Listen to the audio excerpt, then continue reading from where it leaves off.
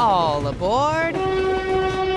It's not every day you see a home with a train in the backyard.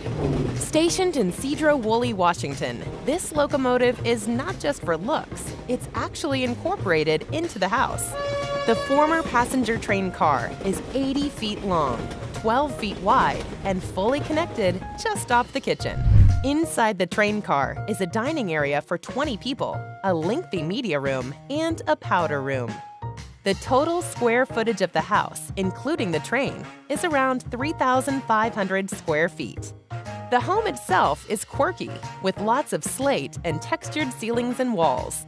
There are four bedrooms and two and a half bathrooms, an office, a large living space, and another dining area.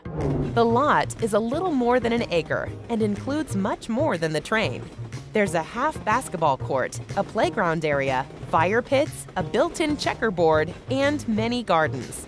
So, if you're looking to be the owner, or shall I say, conductor, of a one of a kind property, you might just be on the right track.